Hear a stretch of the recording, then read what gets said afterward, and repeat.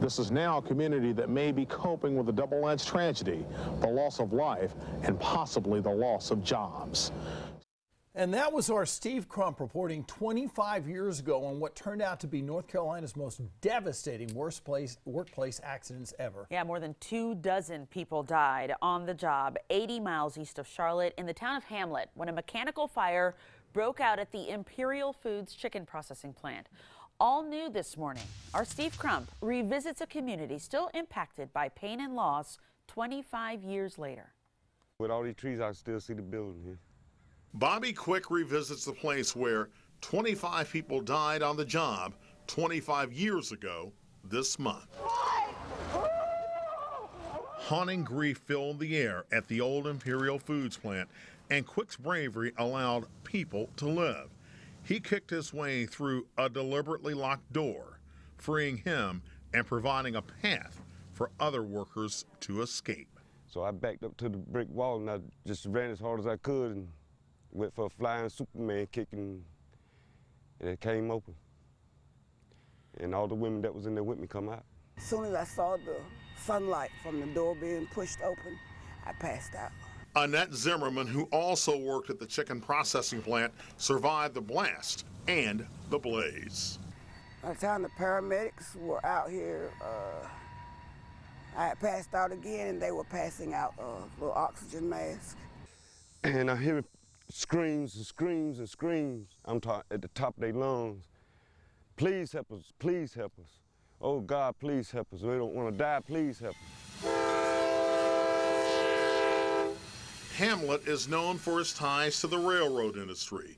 This Richmond County community of 6,800 is the birthplace of jazz legend John Coltrane, and a standing tribute honors the fallen workers near the center of town. In addition to the 25 that were killed on that day, 54 people were injured. And across this community, more than 40 individuals lost a parent. Healing is a process that we go through every day. The name of Amy Perry's brother, Michael Albright, tops the list of employees who didn't make it out alive. As a community, we have pulled together. Um, there has been a lot of uplifting moments.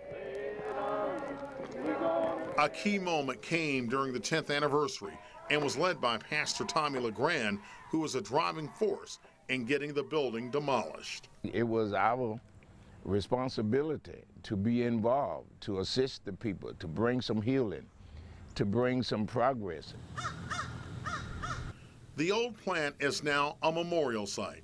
Like so many others, Bobby Quick processes the memories, still feels the pain in his body, and ponders why the business's owner, Emmett Roe, only served four years of a 19 year sentence connected to the deaths of 25 people. Prosecutors contend it was Roe who ordered the doors locked to stop the theft of fried chicken at his plant. I think about it every day I wake up. Hmm. Wow. Steve Crump obviously reporting and here on set with us. Uh, uh, just an, an, incredible piece you did here, but there's more to this story, right? Yeah. Yeah, we get into that uh, tonight at 6 and again 11 o'clock. But one of the interesting things when we saw Bobby Quick there, that was the first time he had been back at that plant in 25 years since that accident actually happened. And in doing some research, you talk about Michael Albright, who we mentioned in that piece. We were going through some articles in the Charlotte Observer. -huh. Come to find out, he had only been on that job three weeks. Oh my goodness gracious!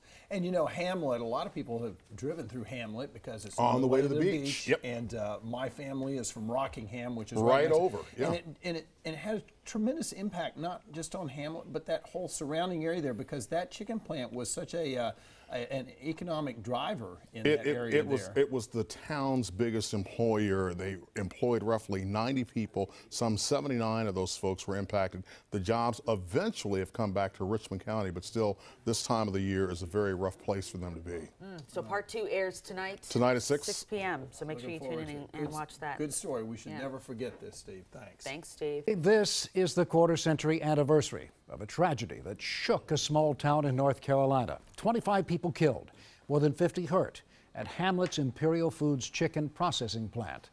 When a fire broke out, the exit doors of the plant were locked.